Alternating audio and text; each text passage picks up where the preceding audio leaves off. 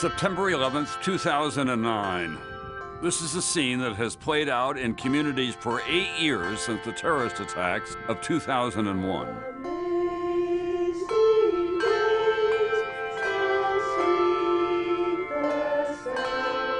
But what makes this ceremony different is where it's taking place.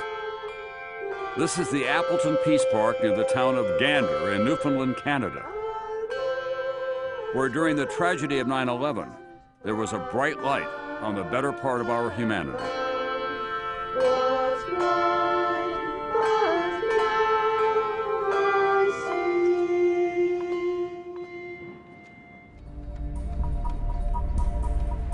It is such a pretty morning, isn't it? Perfect fall morning. Thank you very much. We appreciate the book is called Hughes. We want to go live right now and show you a picture of the World Trade Center. Oh, another one just hit. Something else just hit. U.S. officials say it appears it was a third plane that hit the Pentagon. 56 minutes after the North Tower is struck, an unprecedented decision has been made.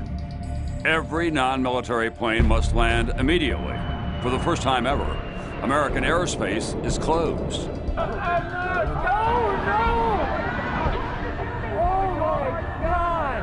The FAA now says that all international flights headed for the United States are being diverted to Canada.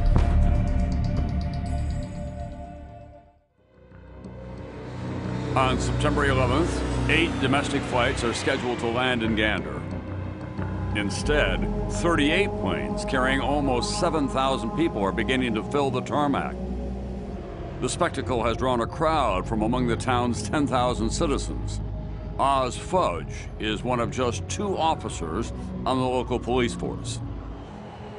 I watched the plane come in, then I seen a jumbo come in, and then I seen another one coming in. And I'm looking at this and I'm saying, holy God.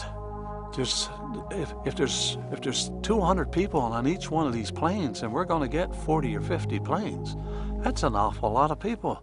Gander begins the process of absorbing all those passengers, so many that in a matter of hours they will nearly double the local population. Now, Gander is a town of barely 10,000 people. There was over 6,000 of us. Now, if you extrapolate the numbers, New York City is 8 million people, so what's that? 6 mil- million people showing up on your door saying, okay, we're here, do something. Currently, there are thousands of people in Gander and surrounding area that need your help.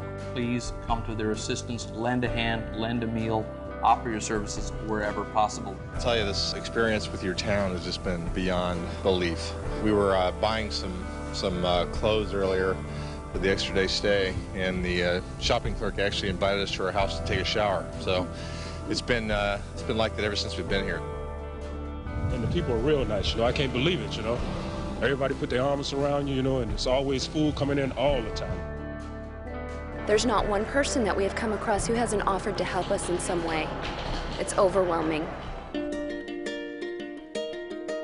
U.S. airspace reopens on Thursday, September 13th. Shirley Brooks Jones, the retired Ohio State fundraising administrator, boards Delta Flight 15 to begin her journey home. She's constantly thinking about the generosity of the people in the Gander area, wondering what she could ever do to pay them back. And then going home, an inspiration. all of us, as we were leaving, tried to leave some money with the people. And they wouldn't take it. They'd just look at us and they'd say, No, you do the same for us. Once the flight is airborne, Brooks Jones asks the pilot if she can make an announcement.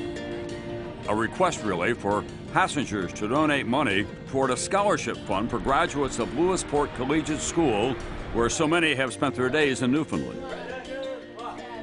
Several of the men went around, picked up the pledge sheets, counted up how much the people from, from all over the world had, had uh, pledged, and they had pledged something over $15,000 US. What we keep encountering time after time is an enormous contrast between the darkness of the events in the United States and the goodness that was going on here. So, in many ways, Gander played a critical role not just in getting people through that time, but as an example of what humanity can be when it's at its best. Well, I think it was, there was a, a, a lady, she was 80 years of age, and when she was leaving, I think she summed it all up. She said, when I heard about what had happened in the world, I had lost all faith in mankind. But after spending five days here with you people, you've restored my faith. There still is good people left in our world. That could be the legacy of Gander. It could very well be.